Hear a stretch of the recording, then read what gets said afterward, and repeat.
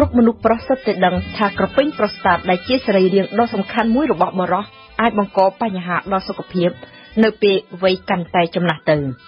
នេះជាអ្វីដែលមនុស្សប្រុសភាគច្រើនបានដឹងក៏ប៉ុន្តែសួរថាតើប្រូស្តាតមានទីតាំងនៅទីណាមានពាក់ព័ន្ធអ្វីខ្លះនឹងបញ្ហាសុខភាពធ្វើដូចម្ដេចទើបអាចរក្សាសុខភាពប្រូស្តាតបានល្អនេះគឺជាសំណួរដែលបរិះទូទៅពិបាកនឹងផ្ដល់ចម្លើយនិងតែងតែចោទសួរខ្លួនឯងផង នេះឱកាសនេះកម្មវិធីសុខភាពរបស់វិសុបារាំងសូមជម្រាបជូនអស់លោកអ្នកនាងស្ដាប់ទាំងស្រុងដូចតទៅ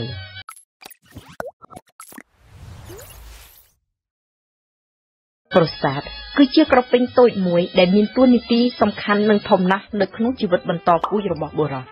ក្រពេញប្រូស្តាតបញ្ចេញវត្ថុរាវសេមីណាល់ដែលនៅពេលលាយច្របល់ជាមួយនឹងមេជីវិតស្ពែម៉ាតូស៊ីអ៊ីតក៏คล้ายទៅជាទឹកកាម ទឹកកាមដែលបរោះបញ្ចេញម្ដងម្ដងមាន10%ជាទឹកប្រូស្តាតដែលមានគុណប្រយោជន៍ជាអង់ទីសេព្ទិកបើគ្មានប្រូស្តាតធ្វើការទេ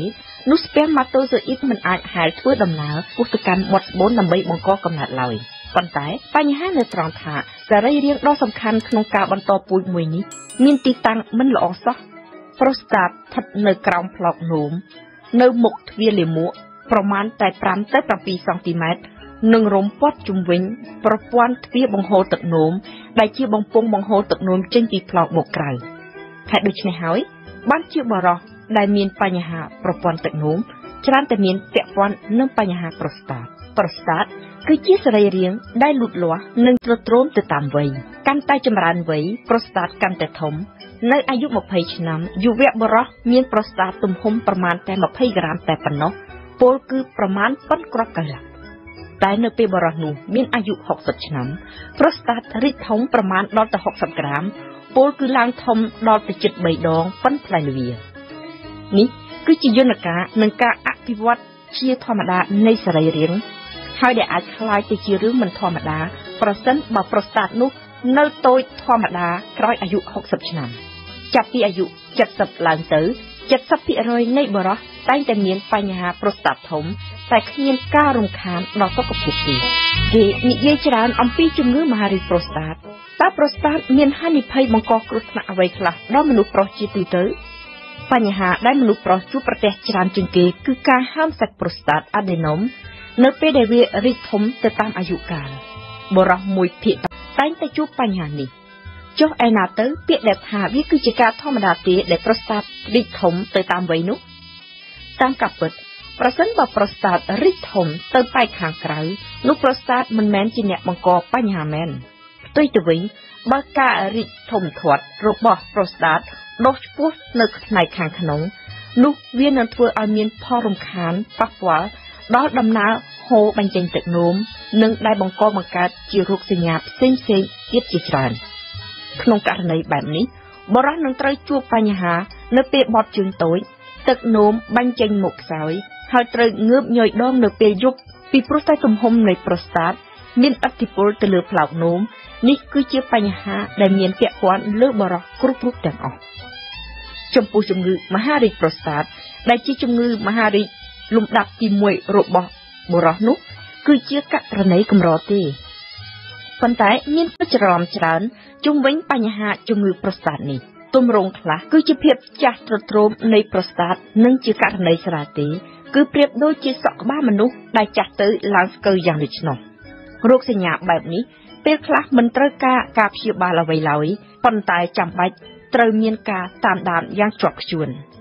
ដើម្បីអាចកំណត់និងវិយតម្លៃថាជាជំងឺមហារីកប្រូស្តាតបានទាល់តែមានការកើសយកសាច់មកវិភាគការវិភាគកម្រិតនៃការវាស់វែងតាមមាត្រដ្ឋានហ្គ្លីសិនគិតពិន្ទុពី0ដល់10បាត់ត្រឹម6 វាមិនមែនជាកំណាងគ្រោះថ្នាក់ទេ និងក៏មិនទាន់ត្រូវការព្យាបាលដែរជាទូទៅបុរសចំណាស់ដែលមានបញ្ហាប្រូស្តាតធ្វើទុក80%មានប្រូស្តាតកម្រិត6នេះឯងក្នុងករណីបែបនេះបរិម្នាក់ក្នុងចំណោម2នាក់បានស្វែងរកការព្យាបាលដែលតាមការពិតទៅវាមិនទាន់ជាចាំបាច់ប៉ុន្មានទេប៉ុន្តែសូមគុំកំណាញ់នឹងធ្វើការដានសុខភាពនិងទៅវិភាគវែករោគជំងឺមហារីកឲ្យសោះចាប់ពីអាយុ50ឆ្នាំឡើងទៅ ពីព្រោះសូមអស់លោកអ្នកនាងចងចាំថាមានទម្រង់នៃជំងឺមហារីកដែលមិនទាមទារការព្យាបាលតែត្រូវការការរក្សាថែទាំអនាម័យជីវិតនិងការរស់នៅនិងទម្រង់ជំងឺមហារីកដែលសំងំឈឹងគ្មានផ្ដល់រោគសញ្ញាឲ្យតែធ្វេសប្រហែសមួយផ្លែតជំងឺក៏វិវត្តលឿនដល់ដំណាក់កាលខ្លាំងពិបាកជួយសង្គ្រោះលែងទាន់ភ្លាមតែម្ដងយើង បានស្គាល់ប្រូស្តាតនិងអំពីហានិភ័យដែលបង្កដោយសរីរាង្គមួយនេះហើយតើមានមធ្យោបាយការពារនិងថែទាំវាឲ្យល្អដែរឬទេមធ្យោបាយការពារការហាមសាច់ប្រូស្តាតនិងមហារីកប្រូស្តាតដ៏ប្រសើរជាងគេគឺគ្មានអ្វីក្រៅអំពីការថែរក្សាជីវិតរក្សាអនាម័យក្នុងការរស់នៅដោយមានរបបអាហារត្រឹមត្រូវឡើយសូមទទួលទានតិចតែត្រឹមត្រូវល្អនិងត្រូវធ្វើកីឡាបញ្ចុះទម្ងន់បើអ្នកមានរាងធាត់លើសគីឡូ ទទួលទានត្រឹមត្រូវគឺជាការទទួលទានតិចប្រកបដោយគុណភាពហើយការទទួលទានបែបនេះគឺជាការទប់ស្កាត់រាល់គ្រប់ជំងឺមហារីកទាំងអស់សូមកុំភ្លេចថាបរិមាណនៃការទទួលទានចំណីអាហារគឺជាថ្នាំពុលក្រុមគ្រូពេទ្យឯកទេសសូមណែនាំអស់លោកអ្នកនាងឲ្យកាត់បន្ថយការទទួលទានអាហារដែលមានសារធាតុខ្លាញ់មិនឆ្អែតនិងបង្កើនការបរិភោគអាហារដែលមានសារធាតុអង់ទីអុកស៊ីដង់ឲ្យបានច្រើននិយាយឲ្យចំ គឺត្រូវកាត់បន្ថយបរិមាណការទទួលទានសាច់គោសាច់ជ្រូកសាច់ខ្លាញ់ផលិតផលទឹកដោះគោដោយបង្កើនការបរិភោគបន្លែផ្លែឈើគ្រប់មុខជាពិសេសពេញប៉ោះនិងពពួកបន្លែស្ពៃស្ពៃក្តោបស្ពៃក្រញាញ់ស្ពៃបូកគោឆៃថៅនិងត្រីដោយឡែកអ្នកស្រាវជ្រាវបានរកឃើញទៀតថា មានចំណងរវាងភាពស្រណុកសុខ ស្រួលរបស់មនុស្សប្រុសនិងបញ្ហាប្រូស្តាតប្រសិនបើអ្នកចូលចិត្តនៅអង្គុយស្ងៀមមើលតែទូរទស្សន៍ជាង10ម៉ោងក្នុងមួយសប្តាហ៍បរិះនោះនឹងមានគ្រោះជួបបញ្ហាប្រូស្តាត20%បន្ថែមផ្ទុយទៅវិញប្រសិនបើអស់លោកប្រឹងបញ្ចេញកម្លាំងកាយដើរឲ្យបាន2ទៅ3ម៉ោងក្នុងមួយសប្តាហ៍នោះអ្នកនឹងអាចកាត់បន្ថយហានិភ័យបានដល់ទៅ25%ចុះបញ្ហាផ្លូវភេទតើមានពាក់ព័ន្ធនឹងផលប៉ះពាល់ដល់សុខភាពប្រូស្តាតដែរឬទេ គេជឿថាបុរសចំណាស់មានបញ្ហាសុខភាពផ្លូវភេទអាចបណ្ដាលមកពីប្រូស្តាតខ្សោយផ្ទុយទៅវិញមានការសិក្សាក៏កាន់តែច្រើនឡើងដែរបង្ហាញថាការបញ្ចេញតកាមបរោះឲ្យបានយ៉ាងហោចណាស់20ដងក្នុងមួយខែបានចូលរួមចំណែកយ៉ាងខ្លាំងធ្វើឲ្យប្រូស្តាតមានសុខភាពល្អជាការសិក្សាដែលគេមិនអាចបង្ហាញជាលក្ខណៈវិទ្យាសាស្ត្រនិងដោយសខ្មៅបាននៅឡើយទេក៏ប៉ុន្តែសេចក្តីបញ្យល់បំភ្លឺមានលក្ខណៈស្របទៅតាមយន្តការជីវសាស្ត្រមនុស្ស នៅក្នុងតកម្មរបស់បរោះដែលប្រូស្តាតមានទំនួលខុសត្រូវមួយភាគដែរនោះមានផ្ទុកសារធាតុមួយយ៉ាងឈ្មោះថា Pristressin សារធាតុនេះគឺជាភ្នាក់ងារអាចបង្កជំងឺមហារីក